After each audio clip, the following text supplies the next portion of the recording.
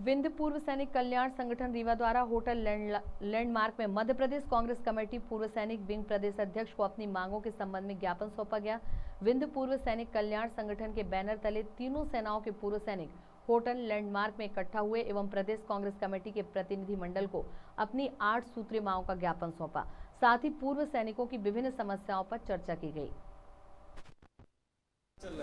भाजपा के साथ चलते हैं तो जबकि भाजपा का ये भी कहना है कि उन्होंने देश को मोदी जी ने देश को मज़बूत किया है और सेना के हाथ मज़बूत किया है। ये सर जो है कहने में और करने में बहुत अंतर है। ठीक है ना? एक उन्होंने अभी जो अग्निवीर चलाई है, आप मुझे उसका एक फ़ायदा बता दीजिए। ना तो अग्निवीर के लिए अच्छा है, ना देश के लिए अच्छा है। चार साल की आपकी फौज हो जाएगी तो किससे लड़ेगी?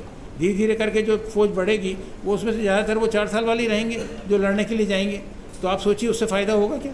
दूसरी बात वो लोग चार साल के बाद जब वापस आएँगे आज आप कहते हैं हम उनको सबको जवाब दे देंगे। नरेंद्र मोदी पर आरोप लगे और पूर्व राज्यपाल सतपाल मलिक ने आरोप लगाया। क्या आप उनका समर्थन करते हैं या फिर? मुझे तो अभी तो ये है कि आज तक उसका मतलब इतने साल हो गए अभी तक तो एक एक चीज़ पता चल जाना चाहिए थी।